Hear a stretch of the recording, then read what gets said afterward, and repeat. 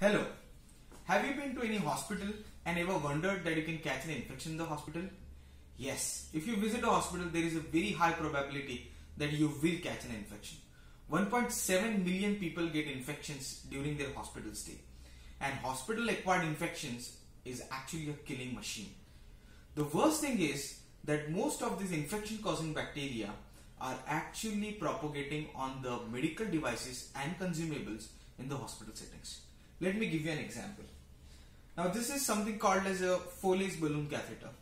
This is this helps uh, assist urination to the patient which are admitted into the hospital.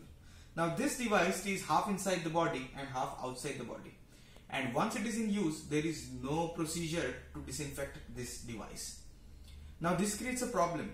This causes catheter associated UTIs. Now catheter associated UTIs or any kind of medical device associated UTI or any other infection can add up to $5,000 per day in your hospitalization bill, which is a very big trouble, especially in the countries which are in lower economic zones.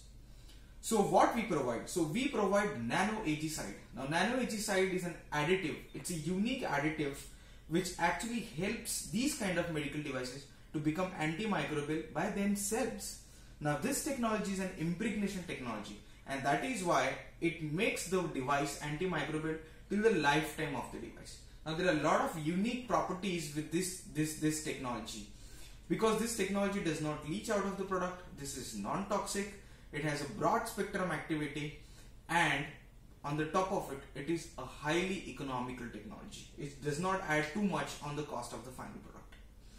So how our business works? So our customers are mostly the companies who are manufacturing these kind of products.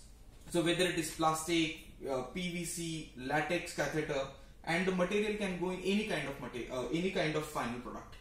So uh, so we tie up with this company, we partner with this company, and our royalty, uh, our uh, revenues come from the sales of nano AgCide solution. That's an additive at the same time from the royalty components on the per sale of, of the final product in the market in the market by that company we have a very competent team to execute this task and we have a very strong team of advisors who help us achieve these targets we are very sure that once this solution this global solution is implemented it can reduce the hospital infect uh, hospital acquired infections by more than 40% immediately over implementation so next time if you go to an hospital or if you go to visit somebody who is admitted in the hospital, don't worry about catching an infection. We got your back. We know it because we care.